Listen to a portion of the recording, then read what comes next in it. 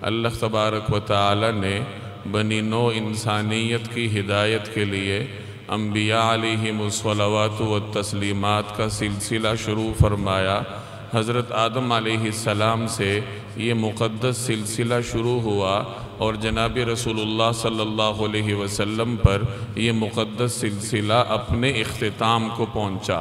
गोया आप सल्लल्लाहु अलैहि वसल्लम पर नबूवत को ख़त्म किया गया और आप सल्लल्लाहु अलैहि वसल्लम ही ख़ातमुन्नबीयीन है, जिसका ज़िक्र कुरान करीम की इस आयत में है माकान मुहम्मदुन अबा अहदिम मिर्रिजालिकुम के मोहम्मद सल्लल्लाहु अलैहि वसल्लम, तुम में से किसी मर्द के तुम मर्दों में से किसी के वालिद नहीं हैं वला कि रसूल अल्लाह, बल्कि वो अल्लाह के रसूल हैं, व ख़ातमनबीन और आखिरी नबी हैं, नबियों के सिलसिले का अख्ताम करने वाले हैं। कुरान करीम की इस आयत ने वाज तौर पर यह ऐलान फरमाया कि रसूलुल्लाह सल्लल्लाहु अलैहि वसल्लम अम्बिया कराम के सिलसिले के आखिरी नबी हैं जिसका तस्करा आप सल्लल्लाहु अलैहि वसल्लम ने भी अपनी मुतद रिवायात में फ़रमाया, चुनाचे मरूफ रिवायत है अनख़ातमनबीन ला नबी अबादी मैं आखिरी नबी हूँ और मेरे बाद किसी नबी ने नहीं आना। यहाँ ये समझ लीजिए कि ख़त्म नबूत का मतलब तकमील नबूत है। सिर्फ़ अख्ताम में होना, किसी चीज़ का आखिर में होना इसमें कोई ख़ास आज़मत नहीं होती। जैसे यहाँ से लकीर शुरू हुई, यहाँ ख़त्म हुई। सिर्फ़ अख्ताम में ही फजीलत पोशीदा नहीं है, बल्कि इस अख्ताम का मतलब तकमील है कि जनाब रसूलुल्लाह सल्लल्लाहु अलैहि वसल्लम अल्लाह के आखिरी नबी हैं, आप ख़ातमनबीन हैं, यानी आप सल्लल्लाहु अलैहि वसल्लम पर अल्लाह तबारक व ताली ने अम्बिया कराम के सिलसिले को मुकम्मल फरमाया।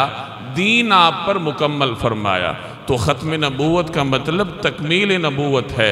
अल्लाह के दीन की तकमील का ऐलान है और यही जनाब रसूलुल्लाह सल्लल्लाहु अलैहि वसल्लम की आज़मत और शर्फ की बात है कि अल्लाह तबारक व ताली ने आप सल्लल्लाहु अलैहि वसल्लम पर दीन की तकमील फरमाई।